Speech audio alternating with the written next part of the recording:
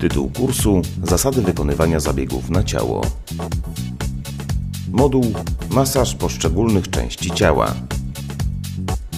Temat Masaż wirowy.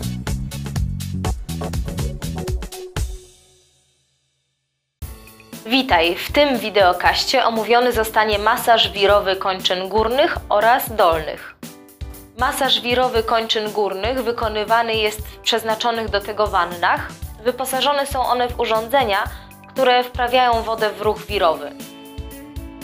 Podczas trwania zabiegu w kończynach następuje zmniejszenie się napięcia mięśniowego, poprawia się ukrwienie tkanek, zmniejsza się obrzęk oraz ból.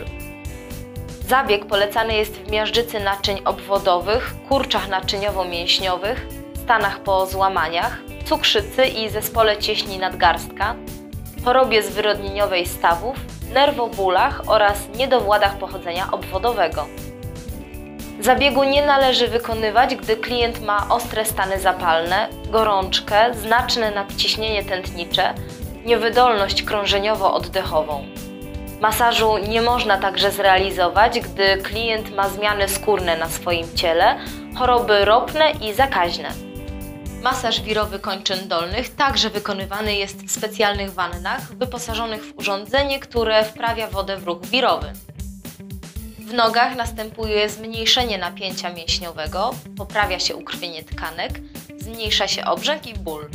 Zabieg zalecany jest przede wszystkim w miażdżycy naczyń obwodowych, kurczach naczyniowo-mięśniowych, stanach po złamaniach, cukrzycy i zespole zmęczonych nóg, chorobie zwyrodnieniowej stawów, nerwobólach, niedowładach pochodzenia obwodowego.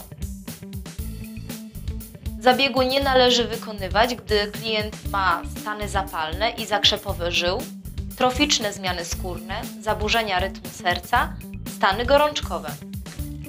Rezultaty masażu wirowego: zmniejszenie napięcia mięśni, poprawa ukrwienia, usprawnianie metabolizmu komórkowego, działanie przeciwobrzękowe, działanie przeciwbólowe, polepszenie przewodnictwa nerwowego, rozluźnienie zbliznowaceń, rozluźnienie przykurczów tkanek, zmniejszenie zastoju żylnego i obrzęków poprzez usprawnienie krążenia obwodowego.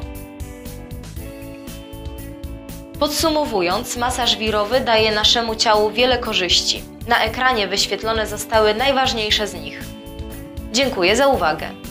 Materiał został opracowany w ramach projektu Model systemu wdrażania i upowszechniania kształcenia na odległość w uczeniu się przez całe życie, współfinansowanego przez Unię Europejską w ramach Europejskiego Funduszu Społecznego.